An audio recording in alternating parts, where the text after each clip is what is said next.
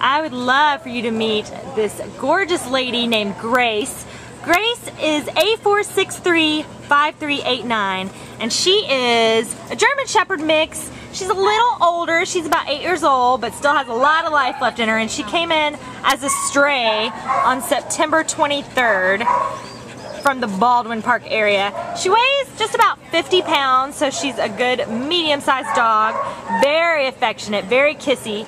And we have someone here who's not great with bigger dogs on leashes and will tell you that this dog is great on leash. Um, just a perfect little walker, so uh, no worries there. She would just be great. She's been non-reactive to the dogs that have passed by, and, and she is just just a, a lovely lady who, who just wants someone to, to spend her last few years with, just someone to give her some love and uh, show her some affection. So come on down if you're an individual or a family, if you live in a house or an apartment. She's very mellow and low energy, so she's just gonna fit right in whatever situation you're in. She's just gonna make the love of your life. Come meet Gracie today, who's sniffing around at the Baldwin Park Shelter. Say bye, Gracie.